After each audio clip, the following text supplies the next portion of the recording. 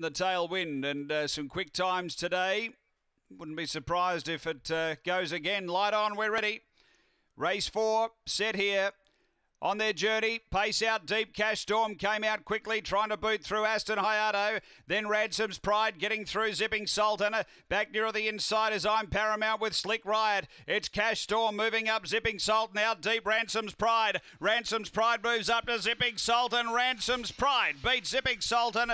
Uh, third Cash Storm and fourth I'm Paramount from Aston Hayato and Slick Riot. The time here is around 18 and 90. After the running of the second heat of the Straight Track Championship Race 4. And uh, Ransom's Pride, able to hold its position out deep on the track, has gone on to uh, to win here. Number eight, Ransom's Pride. For Beck Romain, it's uh, back-to-back straight track wins, stepping up from the 300 metre straight track win last start.